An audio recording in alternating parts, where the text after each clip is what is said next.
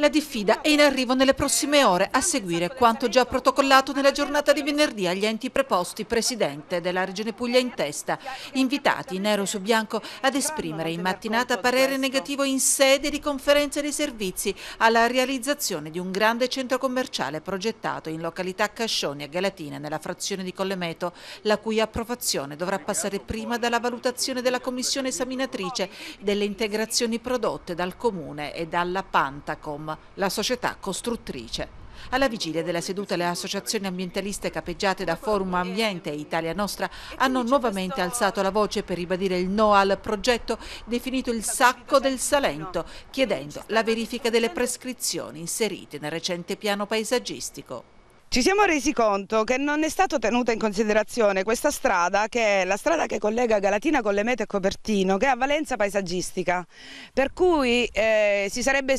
sicuramente dovuto considerare il PPTR eh, che è stato approvato in data 2 agosto. Un megaparco che si è realizzato finirebbe accusano gli ambientalisti con lo stravolgere la vocazione agricola lesivo alla stessa economia cittadina la cui attuazione non troverebbe tra l'altro alcuna giustificazione in un momento di crisi fonda come quello attuale. La nostra richiesta è quella di rigettare qualsiasi eh, mira autorizzativa a questo progetto in conferenza dei servizi, anzi a dir di più porre dei vincoli ulteriori su questi, su questi terreni e su questa area paesaggistica.